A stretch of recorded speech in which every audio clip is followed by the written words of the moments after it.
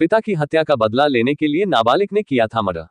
मामला खरखौदा क्षेत्र के गाँव जटोला का है, जहाँ 7 जून को जमानत पर आए अमित की गोलियाँ मारकर हत्या कर दी गई थी।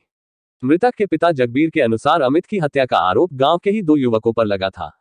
खरखोदा थाना क्षेत्र के सैदपुर पुलिस चौकी इंचार्ज अनिल कुमार ने बताया कि गाँव जटोला में हुए गोली हत्याकांड के आरोप में रविवार की सुबह हनुमान मंदिर के पास से एक नाबालिग को गिरफ़्तार किया गया है। नाबालिग के पास से अवैध हथियार भी बरामद हुआ है, जिससे नाबालिग ने अमित को गोलियाँ मारकर हत्या की थी। सैदपुर चौकी इंचार्ज अनिल कुमार का कहना है कि आरोपी ने अपने द्वारा किए गए अपराध को स्वीकार करते हुए बताया कि पिता की मौत का बदला लेने के लिए मर्डर किया था। हत्या में संलिप्त अन्य आरोपियों को भी जल्दी ही गिरफ़्तार कर लिया जाएगा।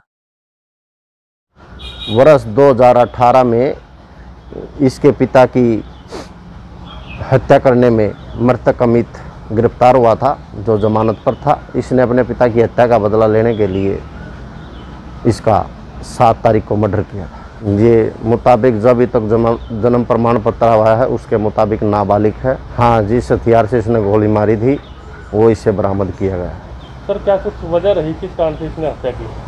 वर्ष 2018 में इसके पिता की हत्या के आरोप में मृतक अमित गिरफ़्तार हुआ था।